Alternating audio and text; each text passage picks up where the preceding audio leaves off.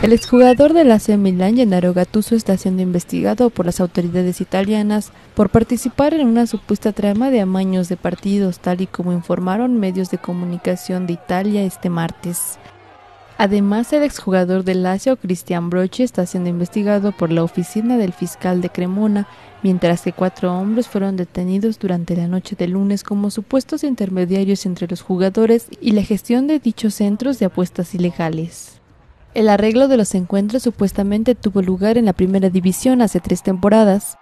Gattuso ha sido un jugador clave tanto en la selección azurra como en el AC Milán por buena parte de la pasada década. Salió campeón en el Mundial de 2006 y dos veces se coronó en la Liga de Campeones Europea. Se retiró de las canchas el año pasado y actualmente se desempeña como entrenador del equipo suizo Sion. El Universal Televisión.